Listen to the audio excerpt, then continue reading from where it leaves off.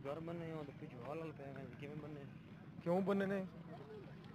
ਵਧੀਆ ਖਬਰ ਨਹੀਂ ਗੋਗਾ।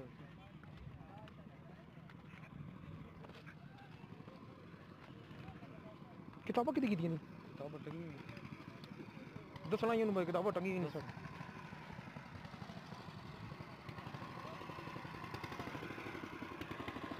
ਤਾਂ ਸਮਝ ਬੰਦੇ ਪਾਵੇ ਬੂਟ।